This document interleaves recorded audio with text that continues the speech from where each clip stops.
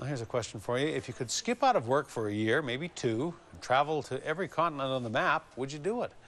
A pair of lifelong friends from Switzerland are doing just that, and right now their trip around the world has landed them on Vancouver Island. A news reporter Gord Kurbis has their story. They're living the adventure most have only dreamed about, traveling to every continent on the planet and documenting every step of their way through videos and photographs. We want to share our dream to travel the world, which meet a lot of people because it's the dream of so many people. After two years of planning and with a budget of 100,000 US, the two lifelong friends set out to travel the globe. They began their journey in January of 2008. Uh, so far, 32 countries we've been and traveled about 100,000 kilometers.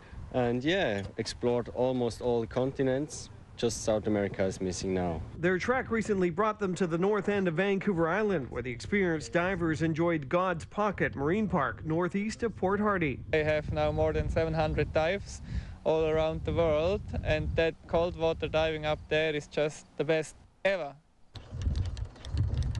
Before they left, they spent 3,000 hours customizing their 2005 Land Rover. But the attention grabbing vehicle is not only their transportation, it's also been their home. Always we stay in the car, like almost every time we have a shower in the car, we cook in the car. This is our home where we stay for the last two years and seven months. That's the way why we can afford it to travel as well because it's cheap. Cheap, but also because in many locations there are no hotels.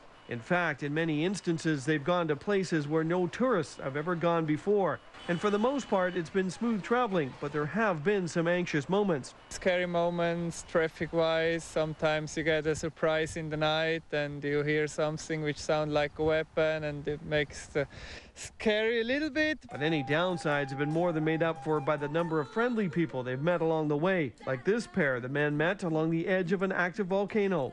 Traveling the world, you get another perspective about all the countries and all about what it is. Because they've enjoyed their traveling so much, they've already extended their trip once. When they finally do get off the road, they hope to put together a documentary to help others learn from their adventure. We want to tell the people, live your dream and don't dream your life. That's what about, about the car and we do so many things and it's like, yeah, we want to share it to the public.